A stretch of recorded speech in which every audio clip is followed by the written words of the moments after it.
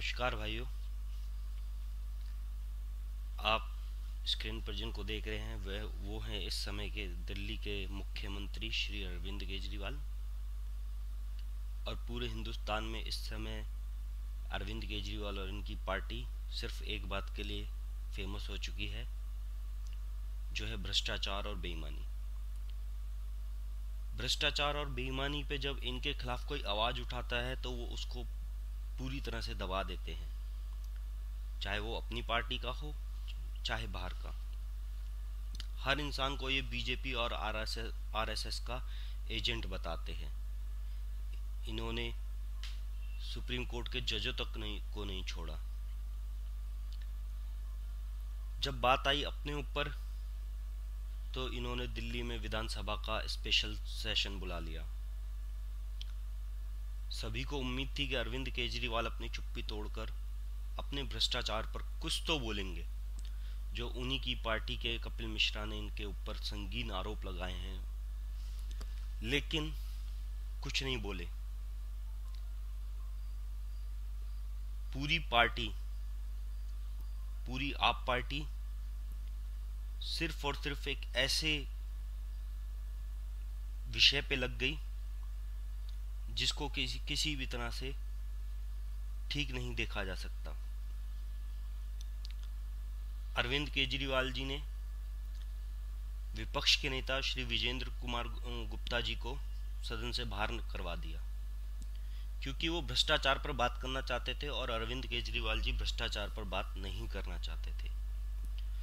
उसके बाद जो सदन में हुआ, वो बहुत ही ज़्यादा शर्मनाक घटना थी। अरविंद केजरीवाल जी की पार्टी के विधायक श्री सौरभ भारद्वाज ने न जाने कहाँ से एक ईवीएम जैसी मशीन को लाके उसका डेमोस्ट्रेशन सदन में दिया। उन्होंने बताया कि किस तरह से वोटिंग में गड़बड़ की जाती है और इस ईवीएम मशीन में कुछ कोड डाल दे जाते हैं। जिससे कि ये ईवीएम मशीन जिसको चाहे, उसी को वोट देती है। आप पार्टी वालों को तो पता नहीं, लेकिन मेरे को ये बात कहीं से भी ठीक नहीं लगी। क्योंकि पहली बात, ये इलेक्शन कमीशन की मशीन नहीं थी। ये बाहर से लाई हुई मशीन थी और सौरभ भारद्वाज जी अपने आप को एक इंजीनियर बताते हैं। इंजीनियर बताते हुए ये, वो ये कहते हैं कि मुझ जैसे साधारण इंजीनियर को इस मशीन को हैक करने में 10 से 15 दिन लगे।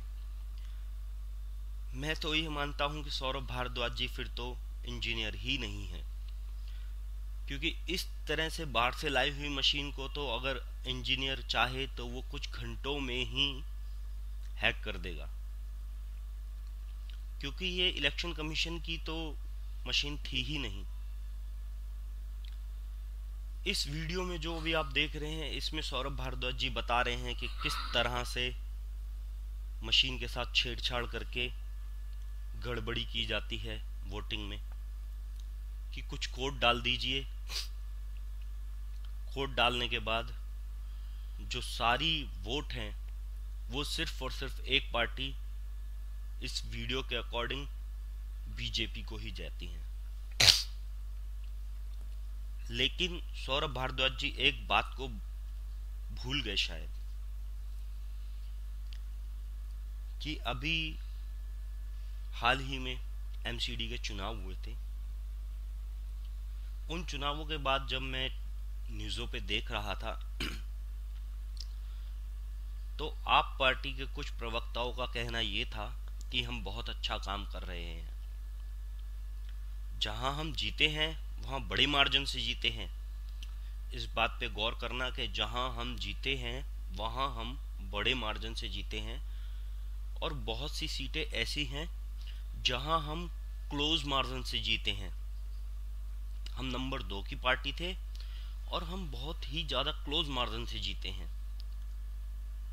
अब मेरे को एक बात ये समझ नहीं आती कि जब ये कहते हैं कि हम क्लोज मार्जिन से जीते हैं तो टक्कर कांटे की थी। अगर बीजेपी ने टेम्परिंग कराई होती तो बीजेपी वन साइड जीतती। किसी और का नामो निशान नहीं रहता।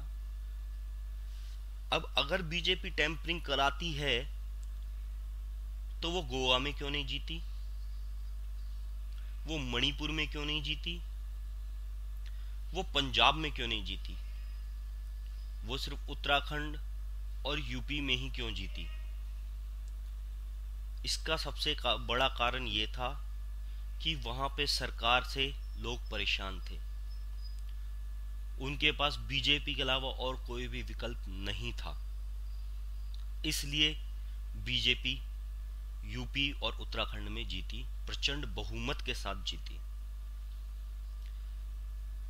आप पार्टी वाले ईवीएम पे निशाना साध के अपने भ्रष्टाचार को छुपाना चाहते हैं, जो ये करने में बिल्कुल भी सफल नहीं हुए, क्योंकि जनता समझदार है। अब मैं आपको एक बात बताता हूँ कि आप पार्टी वालों ने ईवीएम पे निशाना तो साध लिया, मगर ये ये भूल गए कि जिस ईवीएम पे, जिस इलेक्शन कमीशन पे इन्होंने निशाना साधा है, जिस मशीन पे इन्होंने निशाना साधा है उनके भी सत्तर में से सड़सठ जो विधायक हैं, वो इसी वोटिंग मशीन इसी इलेक्शन कमीशन के द्वारा किए गए इलेक्शनों से जीत के आए हैं।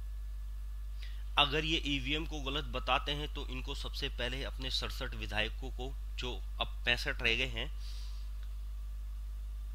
अपने पैंसठ विधायकों को बोल देना चाहिए कि सब, सभी हम त्यागपत्र दे रहे हैं। उसके बाद ईवीएम पे निशाना साधे। अब मैं आपको एक चीज़ बताता हूँ एक्सेल शीट के द्वारा, कि हमारे मित्र श्री सौरभ भारद्वाज जी ने बताया कि वोटिंग होती है। मैंने माना सुबह आठ बजे से लेकर शाम के छह बजे तक वोटिंग होती है। पचपन हज़ार वोटर हैं, पाँच पार्टियाँ हैं। जो भी स्क्रीन पे आप देख रहे हैं जो अभी आप स्क्रीन पे देख रहे हैं, उसमें मैंने सभी पार्टियों को एक एक हज़ार वोट दिए हैं, जो टोटल मिला के ग्यारह घंटे के होते हैं। अब इन ग्यारह घंटे में अगर सबसे पहले मैं आपको देखूँ, जो आप स्क्रीन पे व्हाइट कलर में देख रहे हैं, आपको हर घंटे में हज़ार वोट मिले हैं, जिससे कि उनका टोटल ग्यारह हज़ार हो गया है। इसी तरह बीजेपी को भी ग्यारह हज़ार वोट मिले हैं, कांग्रेस को भी बीजेपी ग्यारह हज़ार वोट मिले हैं, सपा को भी ग्यारह हज़ार वोट मिले हैं और बसपा को भी ग्यारह हज़ार वोट ही मिले हैं। इसमें आप देखेंगे, ये सिर्फ़ एक उदाहरण के तौर पे मैंने लिया है कि पचपन हज़ार वोटों को अगर मैंने सब में बांट दिया एक एक हज़ार वोट हर घंटे के हिसाब से तो ये बनता है। अब सौरभ भारद्वाज जी ये कहते हैं कि भाई टेम्परिंग हो जाती है मैंने माना टेम्परिंग हो जाती है 11 बजे। तो 8 बजे से लेके 10 बजे तक सभी पार्टियों को हज़ार हज़ार वोट मिले।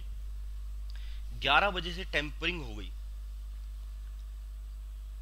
जो टेम्परिंग हुई है, उसके अकॉर्डिंग अब जितनी भी बाकी बाकी की चार पार्टियाँ थी, उन सभी के वोट बीजेपी को ही पड़ेंगे।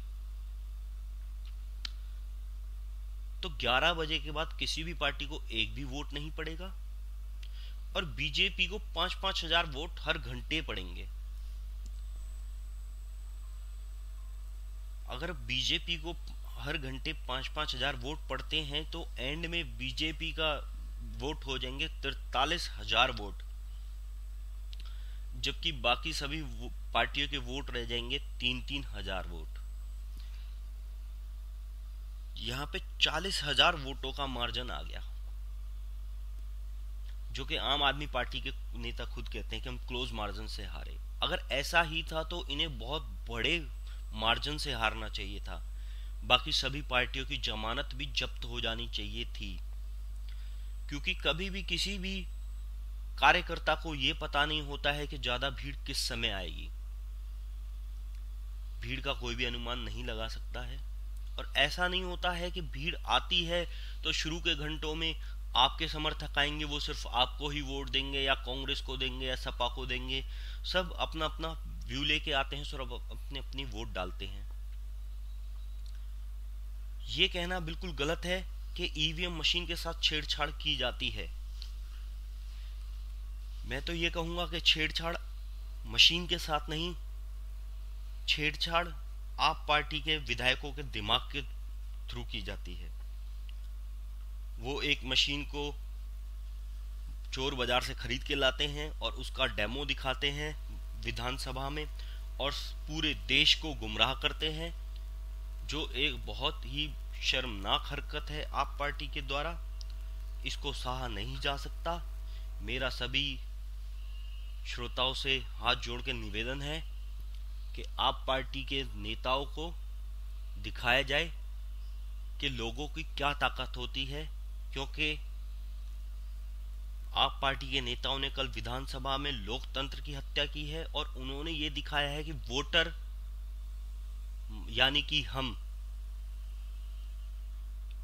हमने जिनको चुना है, वो बेईमानी से चुना है। मेरा सभी से निवेदन है कि अब आप पार्टी वालों का समय आ गया है कि उनको खुद दिखाया जाए कि वोटर जो होता है, वो हमेशा सही करता है और सही का साथ देता है। अगर दिल्ली विधानसभा में आम आदमी पार्टी को सड़सठ सीटें जिता के भेजा था तो वो भी लोगों ने ही भेजा था। और अब प्रचंड बहुमत के साथ अगर आम आदमी किसी को जिताता है तो वो भी उसकी अपनी मर्ज़ी होती है। अब फैसला आपके हाथ है कि आप आम आदमी पार्टी के इस बेतुके बयान को सही माने या अपना थोड़ा सा दिमाग लगाएँ कि ये जो कर रहे हैं, वो गलत कर रहे हैं। नमस्कार, जय हिंद, भारत माता की जय।